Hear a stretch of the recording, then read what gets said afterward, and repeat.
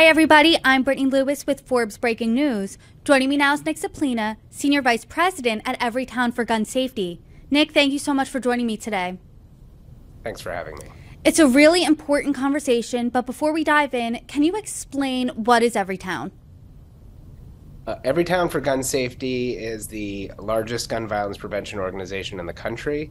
Uh, we operate at the federal, state, and local governments and have a presence in, in every state in the country. We advocate for the kind of common sense gun laws that almost all Americans agree uh, are can save lives, and we do that uh, through a series of uh, actions. But most importantly, through our grassroots, through our Moms Demand Action, Students Demand Action, and Survivor Networks. If almost all Americans can agree that common sense gun laws are necessary, are important, and are life saving measures in this country, why aren't they enacted? Well, I guess the first part of my answer to that is they are enacted in, in, a, in a lot of places, and we've seen enormous progress over the last decade with states adopting the, the, the, policies that, that we support that we know can make a difference. But your larger question is really about why aren't they being enacted at the rate and at the federal level at the rate that we, we want them to? And, and the answer is pretty simple. Um, there's a very powerful gun lobby in this country that has convinced politicians that there's no room uh, for disagreement here. That calculus is changing, and we're helping to change that calculus by activating Americans across the country in blue, purple, and red states to, to send a message to their, their elected officials uh, in the federal government and elsewhere that like they're just not going to stand for it anymore. Um, and a great example of that was last year we passed the first uh, major uh, federal legislation in a generation, the Bipartisan Safer Communities Act, and in fact got 15 Republican senators to sign on to that bill. So, you know, this is a marathon, not a sprint. The forces of opposition are really strong and really entrenched, um, but we are making progress. I do want to touch on the Bipartisan Safer Communities Act in just a little bit, but the reason I did call you today is because the country is once again reeling from a mass shooting, this time in Maine. This is the single deadliest mass shooting in all of 2023. What's your response? Well, I, you know, it's like I'm in disbelief, but not surprised that once again, an American community has been decimated by gun violence. Once again, a night that should have been fun at a, at a bowling alley or a restaurant uh, has turned into a war zone and turned into a war zone uh, created by a gun lobby that has found it fit to market and sell weapons of war to civilians. Um, you know, every single senseless tragedy, including what we saw in Maine, serves as a public service announcement to the rest of the country and the rest of the world. Uh, this is the result of inaction and delay. Uh, and this is what happens when you have weak gun laws. One of the first uh, news stories I've ever covered, a breaking news story at the beginning of my career, was the Pulse nightclub shooting in Orlando. That shooting, paired with shootings in Nashville, Uvalde, Pittsburgh, Buffalo, among others, a similarity is the weapon that was used, and that was an AR 15. Uh, AR 15 was also used in this shooting. What do you make of that? Well, uh, AR 15s are modeled off of military weapons. They have the features that allow them to be particularly effective at assaulting a position, uh, you know, offensively using a firearm. And you want that for your soldiers who are fighting abroad. Uh, but there really is no place for them at home. And what we're seeing, and the reason you're seeing these guns in, in so many mass shootings is because they are designed to kill as many people as possible as fast as possible. They have the features, they have the um, uh, ammunition capacity, and they have the muzzle velocity to do just that. Um, what I make of it is that these uh, firearms have no place in civilian hands. Uh, and we think it's time for the federal government to reenact the assault weapons ban. You know, that was a law in the books for a decade, and we were safer for it. Uh, it's time to, to reinstate the assault weapons ban in this country. How close are we to that happening, if at all? Because last night we did see a Democrat actually in Maine whose hometown is Lewiston have a change of heart. He said this. This is Democrat uh, Congressman Jared Golden. Quote, The time has now come for me to take responsibility for this failure, which is why I now call on the United States Congress to ban assault rifles. What do you make of his change of heart, and will we ever see that ban happen again? Well, I, you know, I wouldn't be in this line of work if I didn't believe we were going to see that happen again. I think we will. Um, and we appreciate Representative Golden uh, joining us in the call for an assault weapons ban. Look forward to working with him. Um, and, you know, it, unfortunately, it sometimes takes uh, tragedy to, to shock you out of complacency. I think that's what we saw with Representative Golden. Um, and it's important, though, to note that he is like so many others that have changed um, their tune on, on guns because they're just looking at the situation in their country, in their district, and saying, this is not acceptable. So, uh, you know, I really applaud that he, he uh, took, uh, he had the courage to really own uh, the mistake in his position, and I hope that others follow.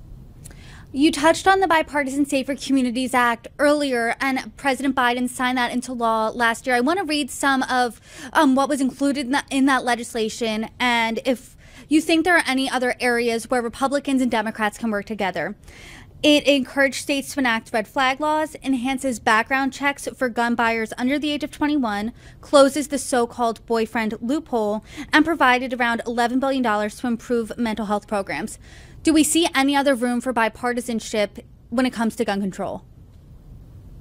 Absolutely. You know, this this was an extraordinarily meaningful act, but it was by no means uh, the end of the story in Congress, and and in fact, it's not the end of the story of bipartisan uh, action in Congress.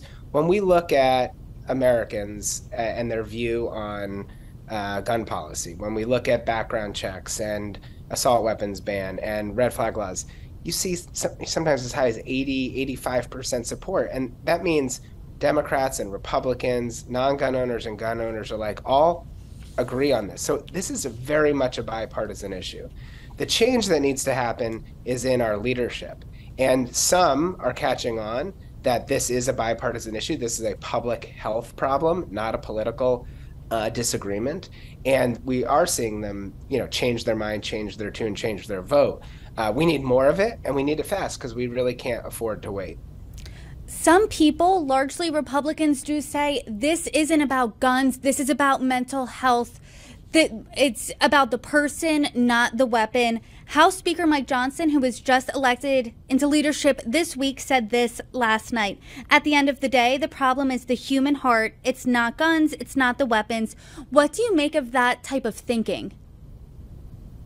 Well, I, with all due respect to the new speaker, I think it's a bit disingenuous. If he's got a plan to change American hearts, I'd love to hear it. Uh, mental health is a problem in this country. There's no doubt about it. That was one of the most meaningful parts of the Bipartisan Safer Communities Act was so many resources going into mental health. But we're not the only country with mental health problems, right? Many Western countries, industrialized nations have mental health problems, bad ones. What they don't have access to is an arsenal so that when things really do go badly in their lives, when they do have a mental break, that the first thing they reach for is is a weapon designed to kill. That's the thing that makes us, unfortunately, uh, exceptional in this in this regard. It's not the mental health problem; it's the access to guns.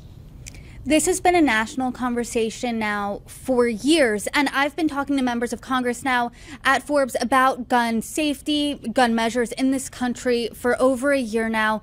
And it's almost like a copy paste, just change how many numbers of mass shootings there are, which is, it's indescribably painful. That's how it is now. So, what do you think needs to be added to this national conversation that you think's missing? Well, in in one respect, I think it's got to be kind of more of the same. It's got to be more pressure, uh, more vocalization of, of, of, Americans' beliefs, and and and some Americans are going to need to go to the polls and vote exclusively on guns because they are going to have to break with their party. Um, uh, if, if we're gonna if we're gonna make this change, but I do think that there's a lot of other voices out there that we are seeing joining the gun violence prevention movement, and and those those uh, are really important. And one I think particularly relevant to to your publication is is, is business. Uh, business can take a business can say, you know what, mass shootings uh, not good for business, not good for the American economy, not good for the workforce, um, not good to attract international talent to come to this country. Increasingly, uh, people are not relocating here, not coming to school here like they used to because the pervasive gun violence problem just shocks their their conscience. So I think the business community is one really important one, but among other sectors that are getting involved, that are lending their voices. And you know, at the end of the day, when you do the straw poll on this, you just have the vast majority of Americans, of American business sectors, of all stripes supporting these laws.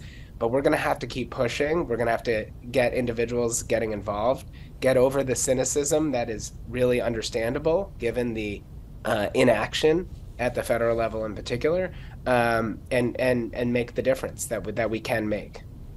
The Gun Violence Archive has that uh, right now that there have been 566 mass shootings in this country to date, just in 2023.